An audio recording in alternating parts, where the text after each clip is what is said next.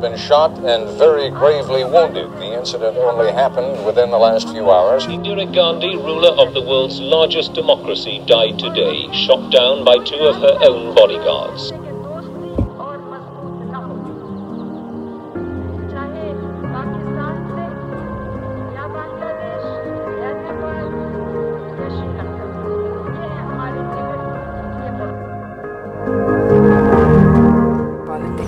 quite a different type of politics than uh, one sees now because politics was not a career, it was being part of a movement.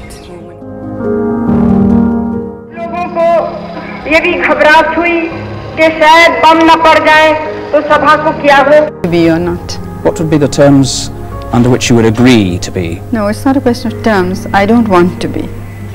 You often But talk, uh, in politics, you can't make a very categorical answer. I didn't want to be in parliament, and I told everybody I wouldn't stand. But uh, here I am.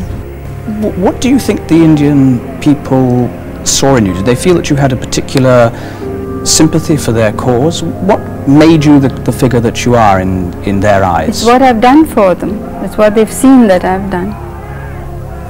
And yet they booted you out in 1977.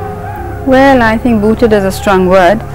Uh, we were defeated, but within uh, less than a month after the defeat, they were coming back to me because there was such a such a very sustained malicious propaganda that people were taken in by it. When people like your own parliamentary spokesman describe you as the woman to whom the gods have entrusted the destiny of India, what's your reaction? I haven't even heard this phrase. I don't know who's used it. Do you, do you regard that kind of phrase as a meaningless extravagance? Yes, and we, in India, they, they, the- most speeches are full of this. Thing. If you see the, uh, you know, the addresses that are presented to anybody, not me, anybody at all, you will be full of phrases like, phrases like this. Do you ever feel that you have in any way abused the trust that the, that the Indian people have, have no, put in you? certainly not.